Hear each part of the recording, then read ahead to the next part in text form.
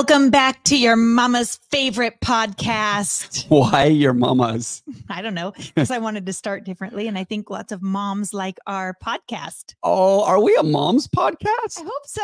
Oh, Shout out to all the oh. cool moms out there. all the cool moms. Okay, well, I I think that's a compliment. Absolutely right. Yes. Oh, very We're- good. We are a podcast for every generation. yes. Silas has a what eighth grade friend, Yeah. and every day at school, he found out that Silas's parents have a podcast, and so he'll talk to him about it. Like, "Hey, your mom and dad were talking about this, and they said this," and Silas is like, "Why are you listening to my parents' podcast?" And I love it. So. Shout out to Matt in eighth grade at Paris Middle School. We love ya. Podcast shout outs to the middle school. Very good. Well, uh, this week um, we are actually going to talk about uh, a title that is actually part of our sermon series. And um, I think that just what we were talking about is, you know, sometimes on a Sunday it can be one point, um, and there's not a, there's so many other things that you're saying that you don't you want to kind of go back and talk about that. And so that's kind of what we wanted to do uh, this this podcast is really talk about flourishing in Babylon. And I could do seven of these podcasts because I'm actually very passionate about this uh, subject and really trying to do that excellent. And um, of course, um, Los Angeles could be a mini Babylon, but you could be in anywhere in the world and kind of considered a Babylon. Peter writes to the church, and he actually says to the church in Babylon uh, just so it, Babylon is just that uh, expression all throughout the Bible that is when you're in an environment or a culture that opposes the things of God. Mhm. And I think we're all uh, in that. Even if you live in the Vatican, there's probably Yeah. some uh, some Probably more. situations, probably more. Uh, but uh, and so just getting that, and I think that one of my favorite scriptures, and to be quite honest, and maybe everyone else already knew this, but I never knew this until actually studying uh, and and preparing for this sermon series. But you know, probably almost most of my life, uh, except for high school when I was graduating, uh, one of my life verses would have been Jeremiah twenty nine eleven. So can I tell the funny story on that? It's not. No, you shouldn't. Or Absolutely. Go for it.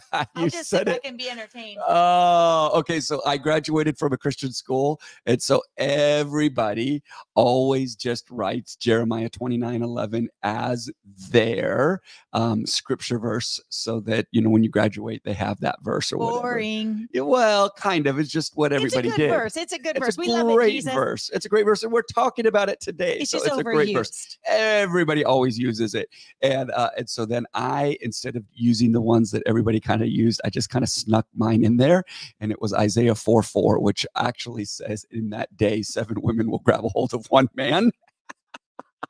And they didn't catch it and i was like yes. So that's like my equivalent of like when they do crazy things at graduations you know backflips or come in without pants or something like that i did a misquote of scripture verse. So, anyhow, getting back to Jeremiah 29 11, what I never realized is Jeremiah chapter 29 is actually a prophetic um, uh, uh, verses, chapter written to those in Babylon. And then it says in Daniel that when Daniel was um, about 86 years old, um, he is, he's, he's praying for his city. He's he's in Babylon. And the Bible says he gets the word from Jeremiah and starts figuring out what God's purpose was and all those kind of things. And I just think that it's so powerful. So anyhow, Jeremiah 29, 11, for I know the plans that I have for you, plans to prosper you and give you a hope.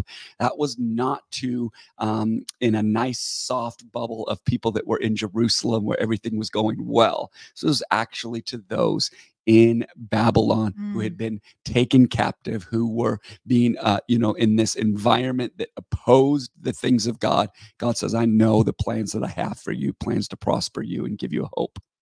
I love that so much. And that's what we really want to talk about today is just flourishing in Babylon. And Israel, you've been doing this series for three or four weeks now. Yeah. And every single week at church, if you're part of Flourishing Church, you know this has been such a powerful series. And so honestly, we could just I could sit here and just listen to all of the historic stuff that you um have been speaking on and the and the real prophetic. This is a prophetic word. And I was just gonna say, if it was, you know, we're we're not this isn't a message to Babylon. This is a message to people living in this season where it feels like the world is coming against every godly principle and really coming against Christians and um, even our rights in America. It's our rights to exercise biblical living and um, living by God's truth. And it's being ridiculed. There's laws being passed against it. And also, just culturally, you can be canceled because you believe the word of God right now. And so, this is such an important conversation for us to be having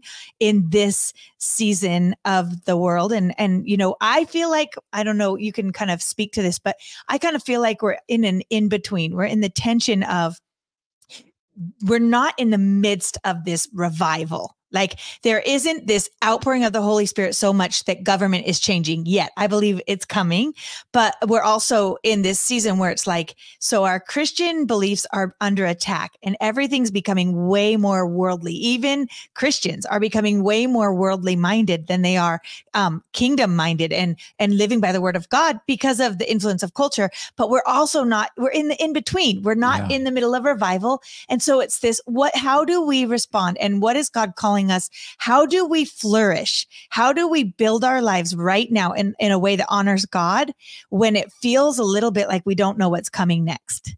Yeah, I know. I agree. And I don't think that we even have the full answers to that. That's the million dollar question, huh?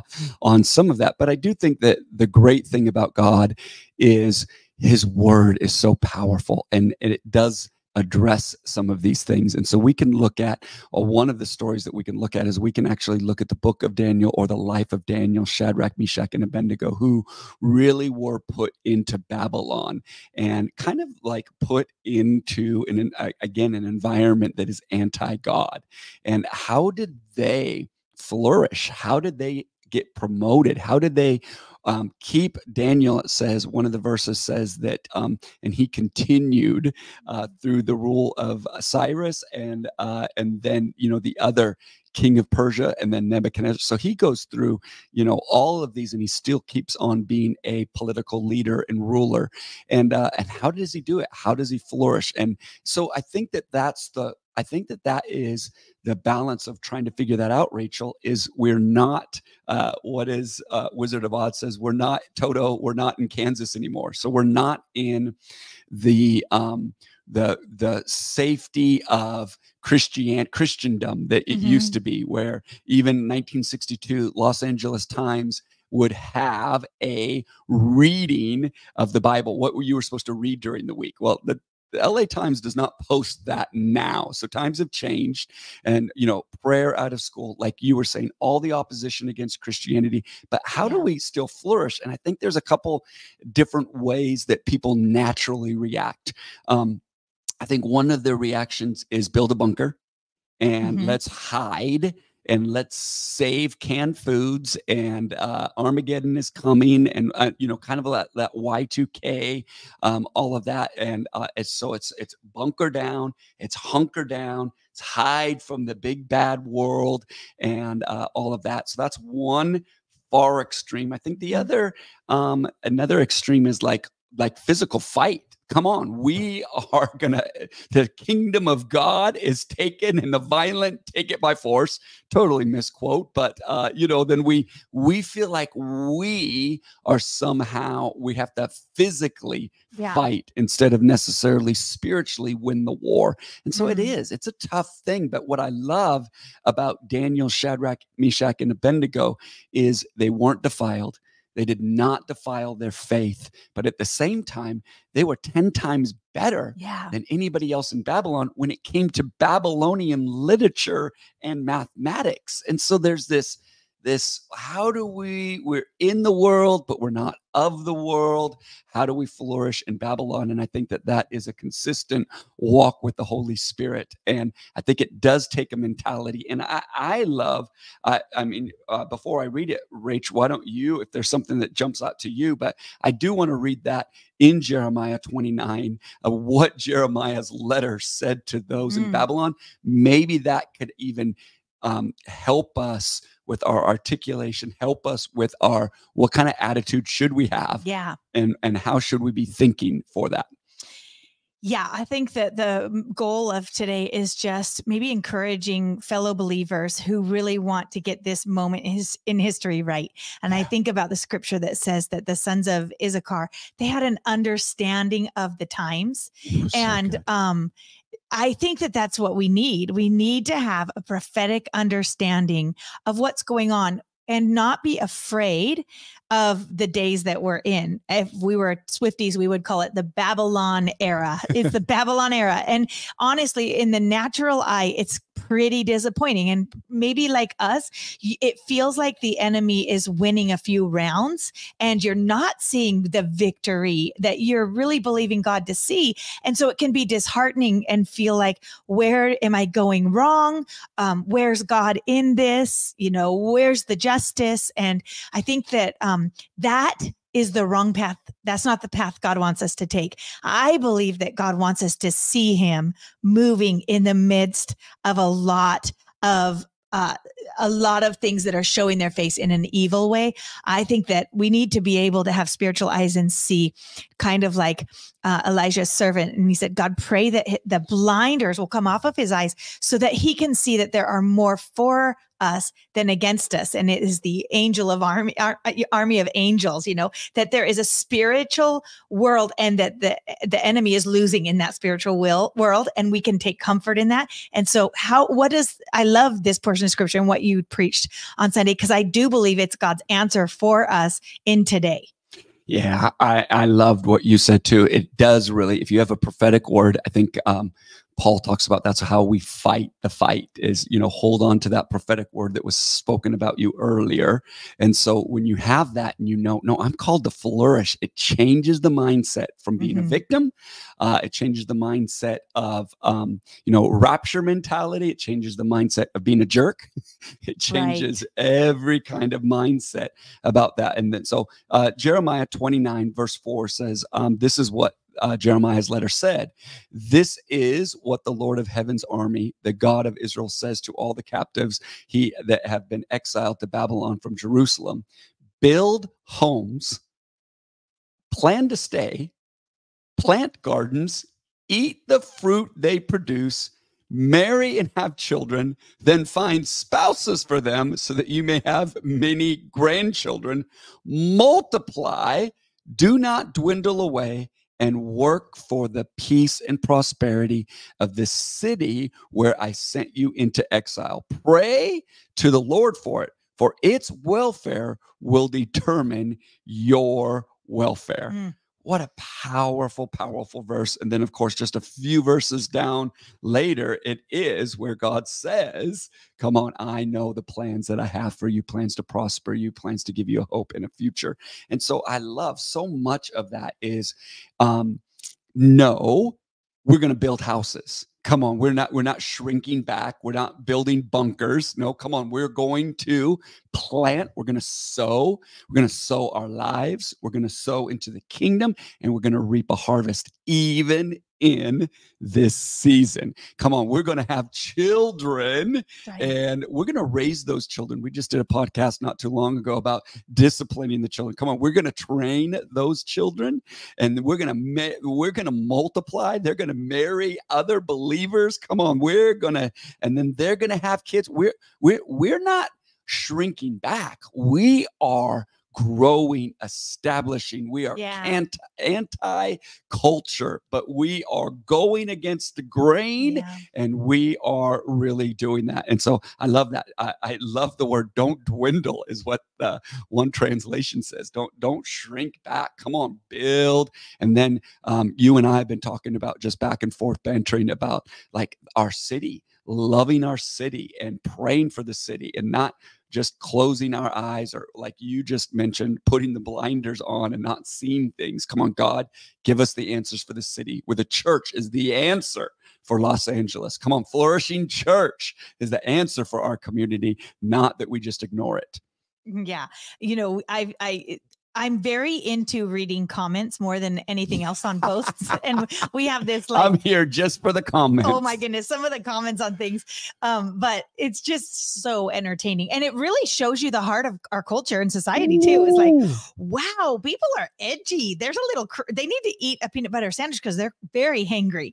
But um they are so hangry, Israel. Yeah. The world is so hungry that they're getting cranky. Mm. And we know the answer. And so every time that we choose to build a bunker or to have a little bless me club of people who make us feel safe because they are saying the same things, they're boycotting what we're bo- boycotting, we really um, are not feeding the need of the hunger. And God has called us to serve a table to the lost and the broken. And we should not be afraid to have sinners at the table. Mm. And when we are, we are missing the whole point of why did we get saved and God not just take us straight to heaven? Yeah. Because he doesn't just care about us. Yeah. He cares about the lost and he gave us the great commission for days like these. And it's, you know, it would be a lot easier if everyone, it was easy to get people saved, but it's going to take getting dirty. It's going to take crossing over to people that don't think the way we do. Maybe they even hate us because they don't know who our God is yet. And I just think that we eh, have to rise up in, in boldness and, and not allow attitude, judgment from sinners, whatever it might be, to make us afraid. And we need to begin to start purchasing houses. We need to begin to fill them with good things. We need to begin to reproduce and celebrate the goodness of God, even in the middle of darkness. And what a better testimony to be peace carriers of the Holy Spirit and, and being able to say, I am unafraid of the gospel of Jesus Christ but I'm not using it as a giant spanking stick to the world. I'm going to exemplify the difference between living for Jesus, following his ways. And then I love what Jeremiah says right there. He says, work for the welfare of your city yeah. because it is in their welfare that you will have welfare. So when we invest in the lost, when we don't shrink back from helping where we can help and, and lighting up the darkness, it, it the Bible says that that's where our blessing comes from. How good is that? So good. We can do that. And uh, one of the things that I, you're just bringing up that, and it just reminds me of is when I was studying, but it's amazing to me the, um, the amount of the gospel that was preached in the book of Daniel, um, not from Daniel. Uh, mm. and so you actually see in Nebuchadnezzar's case, and you also see in the case of uh, when the Persians came in and Daniel, uh, you know, is thrown into the lion's den and he comes out two different times uh, in this, and actually a third with Shadrach and Meshach and Abednego. But Nebuchadnezzar writes a decree to the world. He was at that time uh, the leader of the world at that time. He had conquered everywhere, mm. and he sends out a decree about how the God of Daniel, how the God uh, of the Hebrews was the true God. And so it's amazing. So, like, on point, everybody gets this uh, thing. And then the same thing happens uh, with, I believe it's Darius. Um, and he actually said, makes a, a decree in the in the laws of the Medes and the Persians, makes it part of the law that the God of Daniel is the most high God. And it's so it's amazing because all these young men did, so they decided to not be defiled. They really had faith and lived it, not just talked about it. Come on, there's a difference between just like you were saying, keyboard ninjas, letting comments. I'm talking about death, life. I'll choose if it means death over compromise. And it actually resulted in the case of revival, in a mm. sense, in mm. the nations, the gospel being promoted um, from Babylon. So it's it is it is a tough season, but it's actually where your gods don't work and our God does, and so it's it really is the time to flourish in that. I love that. And Daniel could have been like, you know, when they were all bowing down and he didn't bow down to the idol, you know, it doesn't say that Daniel told them all off. It mm. doesn't say that Daniel even cursed the false gods. It says that Daniel stood for what he knew. And in that, that was enough. And I think that there's this pressure for Christians to rebuke everyone that's not doing it right. Yeah. And so you make the world feel as little and as horrible as possible. You become so self righteous in your own righteousness, you know, that kind of thing. And Daniel really is a good example to us of he never, he never used his faith or his strength to attack anyone else. Yeah. He used his faith and strength to stay strong. No, it's so and good. then God was glorified and then did the heavy lifting of changing hearts. Yeah, it's so true because Shadrach, Meshach, and Abednego, the the terminology that they use to Nebuchadnezzar when Nebuchadnezzar is furious, Daniel is probably out on an assignment somewhere else as an emissary. But the mm-hmm. three say, We're not going to bow. But even the way they say it to him, honorable king, uh, even if we could, we won't. Yeah, that's and, so good. And even if God doesn't show up, we're still faithful to him. You know what I mean? It was just the way that they use the language is such a wow. We should reread that. And then Daniel, in the very beginning, when he is addressed with um, the conversation with the chief eunuch, hey, um, you know, and the eunuch says, no, that'll kill me. Could we try this? Could we be tested in this? Just the honor that Daniel spoke to somebody from a different country, from a different culture, from a different anti God, and then won him over. Who we should all get a hold of that. And then, even at the end, when Daniel's thrown into the lion's den, just this unwavering oh that's the rule? Okay i'm going to go back opened his windows to jerusalem. So it's not we're not selling a passive christianity. We're not trying to somehow some watered down nope open up the window. I'm praying towards jerusalem. I'm praying yeah. towards my god. And it's the only fault that they could figure out how are we going to trap daniel there's nothing can't trap him with the way he does with his money can't um, trap him in relationships. Can't trap him in any of this. The only thing that we can trap him in is his uh, love for God, and that's the only thing that they could found. So I really like what you just said. It's like, oh my goodness, our test now's the time. People are looking. Yeah, people are looking. And we have a couple people that we've been really just befriending, loving, praying for, being the light without correcting their sin. Yeah. And it's what are we 10 years in? And just now they're starting to ask us about the Bible. Just yeah. now, I bought my friend who doesn't know Jesus a Bible, and I'm just teaching her how to have a relationship through the word of God and really seek him for herself. And it took 10 years. Yeah. Daniel was such a good example of faith in God with not instant results and not being afraid of that. And and just I think knowing that um, you know, like Paul says, that I, I might plant the seed, Apollos waters, but it's God who brings the in, increase. And um, it is, I guess maybe I just want to encourage you it's not on you to see the change, but it is on you to be righteous and to trust God to do the to move the heart of man and even to move the heart of government. And and as we pray, as we stand, as we don't we don't waver, that's how you flourish in Babylon. And I just want to read this scripture. I love that portion of uh, Jeremiah that you read, and this is another um, portion of Jeremiah that I have um, pulled up, but it's Jeremiah 32 and I don't even, you can read it because it's the most beautiful portion of scripture. But it's when Jeremiah is thrown into prison, the Babylonians mm-hmm. had just taken over. Um, and his whole entire city, all the people he loves, is under siege and he's put into prison. And in prison, God commands him to buy property.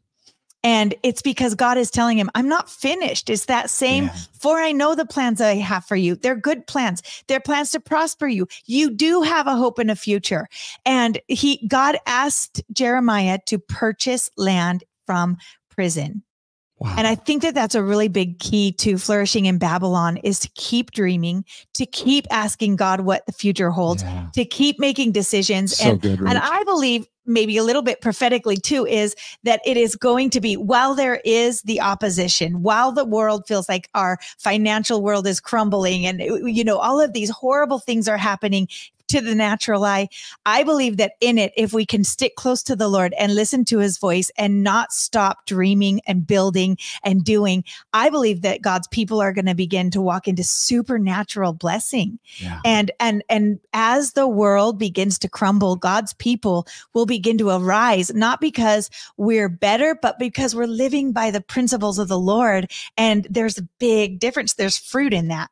Oh, and that, I mean, right there, I think people are fruit inspectors. They're looking for that. And so um, I love the text that maybe ties into that for me, at least, is where they, when they, the king examined Shadrach, Meshach, Abednego, and Daniel, it says that they found them 10 times better. And really, that's what should happen in Babylon. When we're in Babylon, we should be 10 times better. Our marriages should be better. Our anxiety, fear should be better. Our countenance should be better. Our joy should be 10 times better. Come on. Our sales, if you're in sales, should be 10 times better. Our companies that we're trying to do, come on. Amen. Everything that we do um, reflect because of the God inside of us only exemplifies in Babylon. It doesn't shrink back.